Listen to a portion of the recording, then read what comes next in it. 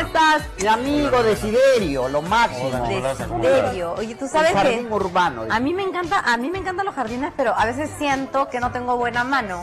O sentía, pero, pero ya que ahora me estoy animando, he sembrado algunas cositas y me están funcionando. ¿De qué se trata? ¿Cuál es el secreto? Eh, eh, en realidad no se trata de tener buena mano o mala mano, es, es cuestión de información y de saber realmente qué es lo que necesitan las plantas. Hay algunas plantas, por ejemplo, las aromáticas, si son de origen mediterráneo, no necesitan tanto abono, tanta tierra, ni, Ah. ni una buena tierra. Y lo, el error en el que incurre a veces el, el público es en, en- en abonar demasiado. Ah, Eh, ya. En Ah, no ponerlo, claro, en ponerlo en una tierra que no sea muy, muy. eh. Vamos empezando mientras nos Ahora y haciendo lo más importante es, es el drenaje en, en todo este tipo de... Lo más importante no es la mano, sino tenerlas a la mano. Es el drenaje. Favorecer el drenaje, porque si se Ah, o se mueren las claro. plantas, Ah. ¿no? Esto es fundamental. Voy a volver a sembrar todo. Bien, eh, he he traído varias, varias especies de, de aromáticas para que puedan apreciar. Ya. Y dentro de ellas, en realidad, eh, he traído ají eh, y tomates, porque últimamente están saliendo unos tomates que son muy pequeñitos, los Sí, sí, cherries, sí, sí, sí. y que se pueden tener fácilmente en la terraza de casa.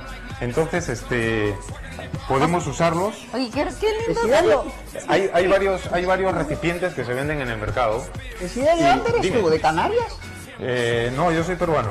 Ah, sí, pero ¿has vivido por allá o qué? Sí, he vivido bastante tiempo. Ah, ya, ay, hablas ya. como un amigo que es de Canarias. Sigue, sigue, Bien, sigue. Ya, ya. Entonces, tenemos varios, varios formatos que se pueden usar en casa para poner en la terraza, en, en un balcón, incluso hasta en la ventana lo podemos, lo podemos aplicar. Ah, Pero Ah, claro. hemos traído uno más práctico para que lo tengan en la misma cocina. Entonces, Ya. esto, eh, al tenerlo delante, pues también favorece que, que- que se acuerden de ella y se la rieguen, porque a veces también las tienen muy, muy cerca y no las riegan. Ahora estas que son como para la cocina, como cuánto, cada cuánto habría que regarla. Eh, sobre todo las que están eh, en interior, que no les da mucho el sol, tampoco no hay que abusar mucho del agua porque eh, no se deshidrata tanto, no hay tanta evapotranspiración, entonces la planta se puede anegar y le pueden salir hongos y ese es un problema para las plantas. Ah, ya. Entonces lo más importante es, en realidad, probar con el dedo y ver si la- el sustrato está húmedo o no Está húmedo. Está ¿no? húmedo Eso ya, es lo más no, no. importante. Y eh, por otro lado, eh, eh, lo del drenaje es fundamental. Entonces, este, he traído, bueno, he traído, les, les voy a poner dentro de las aromáticas tampoco hay muchas flores.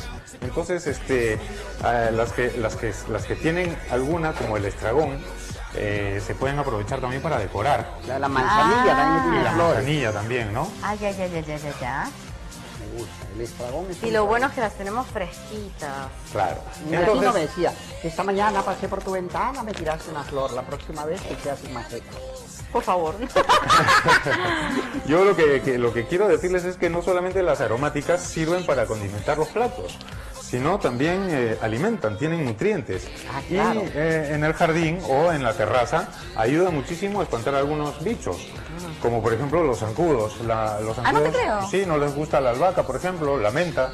Ah, ¿no les gusta? No, no. Si uno tiene albahaca, menta, eh, ayuda bastante a... a Como el eucalipto. los- El eucalipto bota las moscas. Claro, eh, hay muchas sustancias de, de eucalipto, por ejemplo, que tienen las plantas, Ya. eh, no necesariamente si- no siendo eucaliptos. Ya. ¿No? Eh, son sustancias que, que justamente espantan a los... Y para las, y para las polillas. Pues el romero, El una- romero. un romero metido en el, En el ropero. en el ropero Ah, no, es ¿verdad? fabuloso. Ay, yo sabía. tenía a Ricardo Romero No metido en el ropero. Ay, no, pues se retira la planta.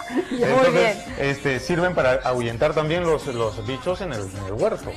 Entonces Ajá. ayuda a que no, que no haya tanto, tantas Oye, ¿qué ahuyenta a, las, ¿cómo se llaman estas? Las que pican, las abejas. Las abejas.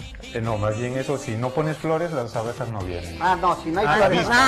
Ah, avispas y ¿No? esas. No, Sí. no, pero son bonitas, decorativas. A- ayudan Sobre en- a mis en hijas el- le da pánico. Claro, ayudan en el jardín. Muy bien. Bien, entonces eh, que recuerden, recuerden básicamente que eh, las plantas aromáticas no solamente dan aroma, sino también alimentan Alimenta muy bien, y claro. También espantan eh, Algunos insectos indeseables. Ya. Y ¿Dónde me? Allá esa es tu cámara de Siderio, la de bien, allá. recordarles que el 30 de mayo tenemos un taller gratuito eh, que se puede, que pueden entrar en la página web Jardín Urbano para inscribirse y disfrutar del taller.